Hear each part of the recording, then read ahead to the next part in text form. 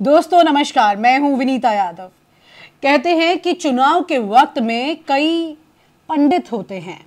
वो पंडित ये बता देते हैं कि दरअसल चुनाव कौन जीतने जा रहा है और इन तमाम भविष्यवाणी के आधार पर हमें एक अच्छा अनुमान लगाने का तरीका मिल जाता है। इसमें नंबर वन, वो पंडित हो जाते हैं जो ज्योतिष ज्ञान से देख के बताते हैं। नंबर दो, वो पंडित हो जाते हैं जो कि सर्वे के आंकलन से बताते हैं।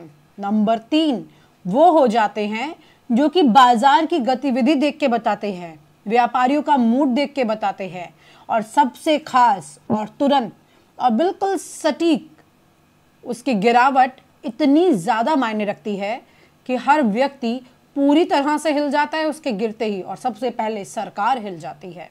जी हाँ मैं बात कर रही हूँ भारत के शेयर बाज़ार की। शेयर बाज़ार जब चुनाव के वक्त में जरा सा भी करवट लेता है तो ये समझ में आ जाता है कि किस तरह से शेयर बाज़ार में आने वाली सरकार से पहले की आहट क्या कह रही है। ये पता लग जाता है कि कैसे शेयर बाज़ार किस पार्टी को ज़्यादा महत्व दे रहा है। आज एक खबर सामने आई है जिसमें शेयर बाज़ार औंधे मुँह गिरा है, बहुत तेज़ी से गिरा है, और यहाँ पर अगर देखें तो ये एक फ़ीसदी तक शेयर बाज़ार में गिरावट के बाद जब सोमवार को या शुक्रवार को एक फ़ीसदी गिरा था और सोमवार को जब ये मार्केट खुली तो उसके बाद सेंसेक्स और, और निफ्टी में बहुत बड़ी गिरावट सामने आई। सेंसेक्स 900 अंक से ज़्यादा गिरकर तिहत्तर हज़ार तीन सौ पंद्रह दशमलव सोलह पर खुला जबकि निफ्टी 300 अंक से ज़्यादा टूटकर बाईस हज़ार तीन सौ उनतालीस दशमलव पाँच पर ओपन हुआ। बीएससी के टॉप शेयर में 30 शेयरों में से सिर्फ़ चार शेयर में तेज़ी देखी जा रही है, जबकि बाकी के सभी 26 स्टॉक में गिरावट है। सबसे ज़्यादा गिरावट टाटा मोटर्स के शेयर में हुई है। कुल मिलाकर के बात यह है कि जब मैं आपको ये तमाम आंकड़े बता रही हूँ स्टॉक एक्सचेंज के शेयर मार्केट किस तरह से उस वक्त गिर रहा है जब 19 तारीख को वोटिंग होनी है, उससे पहले ये क्या कहता है? दरअसल नंबर वन यहाँ पर शेयर बाज़ार गिरने के पीछे जितनी भी मीडिया रिपोर्ट्स हैं, पहले आप उन पर नज़र डालिए, वो क्या कह रही हैं। ऐसे तीन शेयर ऐसे हैं जो आज बढ़कर खुलने जा रहे हैं, लेकिन 47 शेयर ऐसे जो नुकसान के साथ खुलेंगे। टाटा के दोनों शेयर टाटा कंज्यूमर और टाटा मोटर्स आज आपको कमज़ोरी के साथ शुरुआत में दिखेंगे। तो अब तो समय ही हो गया मार्केट खोलने का चेक करेंगे, देखते हैं क्या होता है। आज आईटी का बहुत बड़ा रोल होगा इस पूरे फॉल को रोकने के लिए। वो नॉन क्रूड वाला हिस्सा भी है। 200 पॉइंट की गिरावट और 22,300 के ऊपर हमने ओपन किया। 22,300 को मेंटेन करने की कर रहे हैं कोशिश। अड़तालीस का एक सपोर्ट एरिया है बैंक निफ्टी का। बैंक निफ्टी उसको जल्दी जल्दी नहीं तोड़ेगा ऐसा लगता है डाटा देखकर। इसलिए अड़तालीस हज़ार हो गया। खुलते ही अगर आपने प्लस किया तो चालीस आपने निफ्टी के अंदर जोड़ लिए। और अगर खुलते ही आपने बैंक निफ्टी प्लस किया है तो करीब डेढ़ सौ पॉइंट आपने बैंक निफ्टी के भी जोड़ लिए। ये मैंने आपके सामने खुल्लम खुल्ला आज हमने डंके की चोट पे कहा कि खुलते ही एक बार पोजीशंस लेने में समझदारी है, क्योंकि दोनों सपोर्ट एरियाज़ पे खुल रहे हैं। आप देखेंगे एडवांस डिक्लाइन उतनी फेवरेबल नहीं है, सिर्फ़ एक शेयर है।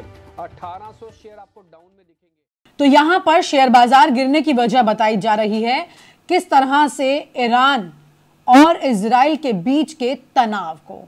यहाँ पर यह बताया जा रहा है कि ये दोनों देशों के तनाव की वजह से ये भारी गिरावट देखने को मिली है। लेकिन क्या वाकई में इतना काफ़ी है या फिर कहानी कुछ और है? दरअसल, राजनीति के विश्लेषक ये कहते हैं, और तमाम वो लोग जो कि सर्वे डाटा एनालिसिस पर काम करते हैं, उनका ये कहना है कि शेयर बाज़ार चुनाव से ठीक पहले अगर गिरता है तो ये एक बड़ी भविष्यवाणी के तौर पर होता है कि मौजूदा सरकार के लिए स्थितियाँ अच्छी नहीं आने वाली हैं। यानी कि अगर सरकार जो इस वक्त मौजूद है सत्ता में, अगर उसकी बात की जाए तो शेयर मार्केट से वो जुड़ी होती हैं चीज़ें। और उसमें ये बदलाव दिखाई दे रहा है कि कैसे ये गिर रहा है, यानी कि सरकार के गिरने के चांसेस ज़्यादा हैं। कुल मिलाकर यूँ कहें कि एनडीए और इंडिया गठबंधन के बीच में कांटे की टक्कर शेयर बाज़ार के गिरने के बाद क्लियरली दिखाई देने लगी है। ये साफ़ साफ़ बात सामने आने लगी है कि किस तरह से शेयर बाज़ार जो है वो इस वजह से गिर रहा है क्योंकि इंडिया गठबंधन एक मज़बूत टक्कर दे रहा है एनडीए को, जहाँ पर 300 का आंकड़ा पार करने की बात बीजेपी कर रही है और एनडीए गठबंधन के साथ में वो ये कह रही है कि वो 400 तक पहुँच जाएँगे। लेकिन यहाँ पर इंडिया गठबंधन, जो कि सीटों का कोई बड़ा दावा किए बगैर धीरे धीरे करते हुए नीचे एक चूहे के बिल के अंदर जाकर पूरी जगह बनाने वाला जो काम कर रहे हैं, उसमें साफ़ दिखाई दे रहा है कि किस तरह एक अंदर साइलेंट मोड में चीज़ें चल रही हैं। कई सारे अगर जनता की बात की जाए तो वो भी खुलकर अभी बोल नहीं रही है, लेकिन कुछ जगह पर जनता के रिएक्शन इस तरह से सामने आए हैं। जो कि अंडर करंट को बहुत ज़्यादा कंफर्म कर देते हैं।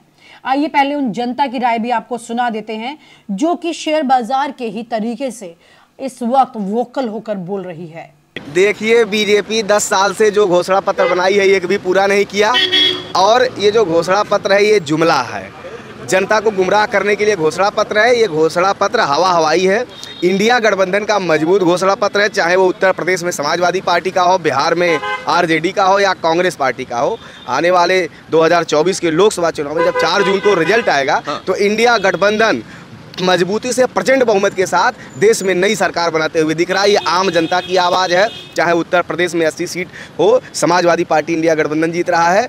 बिहार में आरजेडी के साथ महाराष्ट्र में जो शिवसेना है और उसके बाद में शरद पवार जी की पार्टी है कांग्रेस की पार्टी हर जगह घोषणा पत्र में लिखी बातें आपको समझ में नहीं है बीजेपी का घोषणा पत्र का मतलब है ठग झूठ उसके बाद लूट मार हत्या गुंडा राज अब मोदी जी जाए आराम करें गुजरात में कोई मतलब नहीं है। देश की जनता उत्तर प्रदेश की जनता बीजेपी को उत्तर प्रदेश से सफाया करने जा रही है। बीजेपी का घोषणा पत्र तो चार सौ पार का नारा है चार सौ हारने जा रहे हैं देश में और ये हर जगह हाँ। इनके जो सांसद हैं कहीं ना कहीं देश की जो लोकसभा में जा रहे हैं तो जनता ताड़ने लग रही है दौड़ाने लग रही है बोल रही है कि आप कामे नहीं किए वोट क्यों मांगने चले आए? और इनके देखिएगा ज़्यादा से ज़्यादा तीन से तीन सौ से ऊपर के जो सांसद दो से तीन बार रिपीट हुए हैं वो सब बुरी तरह चुनाव आ रही है बीजेपी ने अपना घोषणा पत्र जारी कर दिया है। जी। मन में तो खुशी होगी। हाँ क्यों नहीं? बीजेपी को खुशी होनी चाहिए। नहीं आप खुश है कि नहीं? बीजेपी का घोषणा पत्र देखा अच्छा भारतीय जनता पार्टी घोषणा पत्र 2014 भी मैंने देखा है। जी 19 भी देखा। 2019 भी देखा और 2022 भी देखा। 2017 भी देखा उसका। हाँ। उत्तर प्रदेश और दिल्ली। दो घोषणा पत्र उत्तर प्रदेश का दो घोषणा पत्र दिल्ली का। जी। जो घोषणा पत्र 2014 में वो घोषणा पत्र जारी करती है उस पर अमल नहीं करती है उधर किनार कर देती है। और जो 2019 में घोषणा पत्र जारी करती है उस पर भी अमल नहीं करती उसको भी इधर किनार कर देती है। सिर्फ़ है क्या कि भारतीय जनता पार्टी के पास उसका जो नेता है देश का प्रधानमंत्री नरेंद्र मोदी सिर्फ़ मीठी मीठी चुपड़ी चुपड़ी बातें करके हमारे देश का जो हमारे देश की जो जनता है जो दयालु दयालु प्रवृत्ति की है और उसको सिर्फ़ ये भ्रम में डाल करके गुमराह करने की कोशिश करते हैं। और भारतीय जनता पार्टी ने आज तक जो भी घोषणा पत्र जारी किया है आप घोषणा पत्र उसका पढ़ लीजिए 2014 का उसने लागू नहीं किया घोषणा पत्र। किसका घोषणा पत्र पसंद आया आपको? हमारे यहाँ जो समाजवादी पार्टी के राष्ट्रीय अध्यक्ष हैं उत्तर प्रदेश के पूर्व मुख्यमंत्री माननीय अखिलेश यादव जी 2012 से लेकर 2017 तक उन्होंने सरकार बनाया था। जी। और उन्होंने जो करके दिखा दिया है इस लखनऊ के अंदर सात बरस हो गया योगी आदित्यनाथ जी को और दस बरस हो गया दिल्ली वाले सुल्तान नरेंद्र मोदी जी को। लेकिन एक सरकारी बिल्डिंग बड़ी दिखा दें जिस तरह से लोग भवन बना है जिस तरह से आपका वेदांता हॉस्पिटल बना है अपोलो हॉस्पिटल बना है ट्रिपल आईटीआई है। आप पैंतालीस कंपनियाँ माननीय अखिलेश यादव ने अपने मुख्यमंत्री काल में लाए थे। तो शिवा से लेकर के जो अंतर्राष्ट्रीय कंपनियाँ हैं बिना समिट की मीटिंग किए लाए थे और उसके बाद लुलू माल जैसा बड़ा माल जो अंतर्राष्ट्रीय माल है ला करके स्थापना कराया था। खाली एक कप चाय पिला के उसके मालिक से यहाँ उन्होंने खुलवाने का काम किया। आप बताइए इत, इतने बड़े ऐसा मुख्यमंत्री मैंने नहीं देखा ऐसा प्रधानमंत्री नहीं देखा। सिर्फ़ वो खाली हिंदू मुस्लिम और दंगा फसाद जाति और धर्म भारत पाकिस्तान के अलावा और हमारे जो आस्था के केंद्र हैं भगवान पुरुषोत्तम राम के नाम का दुरुपयोग करके छलवा करने का काम करते हैं। अगर वह मुद्दा इनके पास न रहे तो जनता के बीच में जा नहीं सकते। और मैं मैं ये कहना चाहता हूँ दस बरस का अवलोकन कर रही है इनके कार्यों का मूल्यांकन कर रही है हमारे देश की जनता खासकर उत्तर प्रदेश की जनता। हम्म। आपको बता दूँ इनके पास इनकी इतनी हैसियत नहीं है कि जनता के बीच में चले जाएँ खाली जाएँगे तो राम मंदिर और हिंदू मुस्लिम भारत पाकिस्तान का नारा ले दे करके सिर्फ़ कि देश कैसे टूटेगा।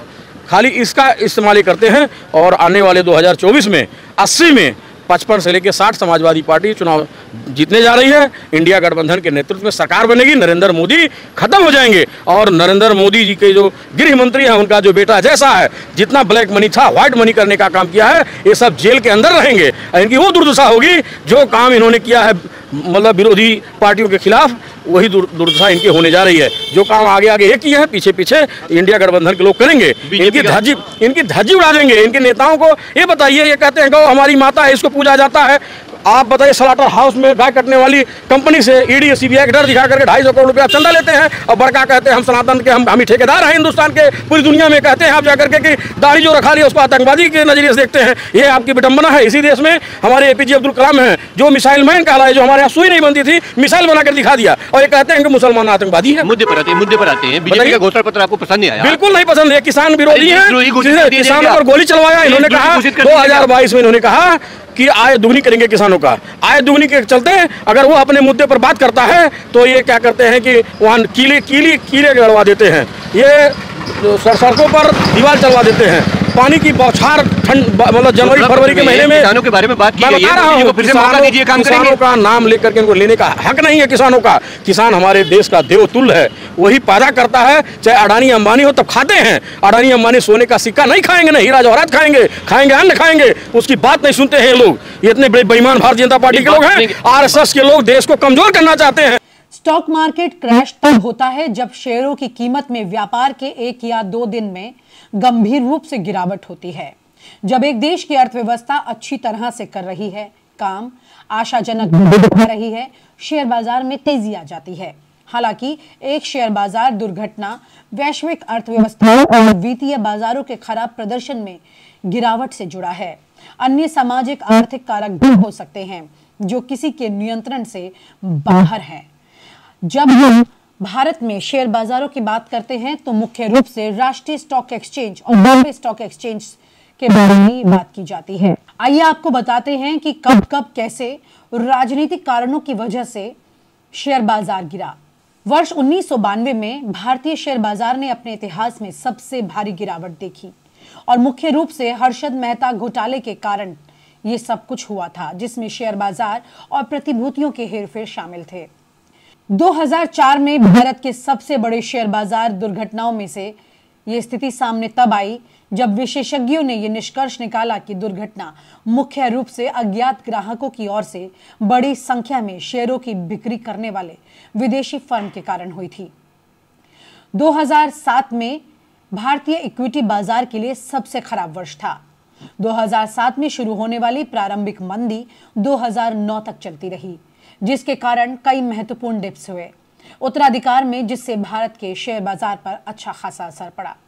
2008 में वर्ल्ड रिसेशन का दौर चल रहा था, जबकि भारत चरम से प्रभावित नहीं था। वैश्विक पतन भारत के शेयर बाज़ार के ऊपर स्विंग को नीचे खींचने के लिए काफ़ी था। 2015-2016 इस दौरान भारतीय अर्थव्यवस्था को काफ़ी बोल्ट ने टक्कर मार दी। जिससे शेयर बाज़ार में गिरावट आ गई। उस समय जब अर्थव्यवस्था लगातार बढ़ रही थी, दुर्घटना का कारण चीनी बाजारों में मंदी का निष्कर्ष निकाला गया था। स्टॉक चीन और भारत दोनों में तेज़ी से बेचना इसे शुरू कर दिया था। साथ ही भारत में नोटबंदी को खेल में खरीदा गया था। और इससे अर्थव्यवस्था के कारण होने वाले व्यवधान को जोड़ा गया।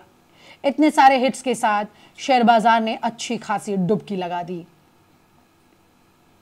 बाज़ार क्रैश स्थायी नहीं है। ऊपर जाने वाले बाज़ार नीचे जाने चाहिए। और जैसा कि हमने पिछले बाज़ार में देखा, अर्थव्यवस्था हमेशा खुद को पुनर्जीवित करती है। दुर्घटनाएँ भूल जाती है और शेयर बाज़ार एक बार फिर से फल फूलने लगता है। लेकिन चिंता का कारण तब होता है जब अनुभवी निवेशक ये घटनाएँ भूल जाते हैं। कुल मिलाकर यह भी देखा गया है कि जब देश में सत्ता परिवर्तन होता है, तब भी शेयर बाज़ार पर सीधा असर पड़ता है।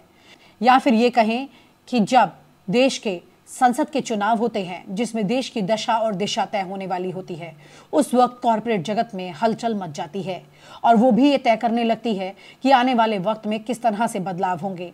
और उनका इंटरेस्ट सीधे सीधे शेयर बाज़ार पर साफ़ दिखाई देने लगता है, जिसके चलते शेयर बाज़ार में गिरावटें देखी गई हैं। हालाँकि कुल मिला के कहा जा सकता है कि इस वक्त तमाम मीडिया चैनल जिस तरह से ईरान और इसराइल की चर्चा यहाँ कर रहे हैं, वहीं पर अंदर में खुलकर यह चर्चा हो रही है कि एनडीए गठबंधन और इंडिया गठबंधन में अच्छी खासी टक्कर दिखाई दे रही है। और ये टक्कर इस वक्त लोगों के जहन पर एक ऐसा असर डाल रही है, जिससे कि वो बड़ा खेल खेलते वक्त खुद को अस्थायी महसूस कर रहे हैं, जिसके चलते चुनाव पर इसका अच्छा खासा असर पड़ सकता है या यूँ कहें कि चुनाव का असर सीधे सीधे शेयर बाज़ार पर पड़ रहा है। कुल मिलाकर शेयर बाज़ार गिरने की कई वजह हो सकती हैं, जिसमें अंतरराष्ट्रीय युद्ध की स्थितियाँ अगर बन रही हैं, वो एक वजह है। लेकिन उसी के साथ देश में चुनावी माहौल और चुनावी अस्थिरता अगर दिखाई देने लगती है तो वो भी एक बड़ी वजह दिखाई देती है।